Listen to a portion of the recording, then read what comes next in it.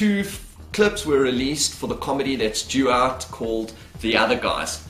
It's due out on the 6th of August 2010 by writer and director Adam McKay, who is the writer and director behind Step Brothers, Talladega Nights, and Anchorman.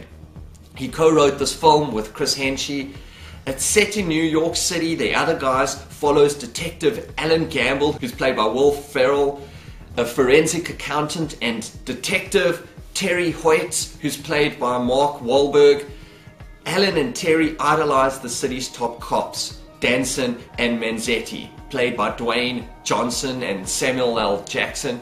But when an opportunity arises for the other guys to step up, things don't go quite as planned. The other guys has got Samuel L. Jackson, Dwayne Johnson, Mark Wahlberg, Will Ferrell, and Michael Keaton in it, and it's due out on the 6th of August 2010 and looks hilarious.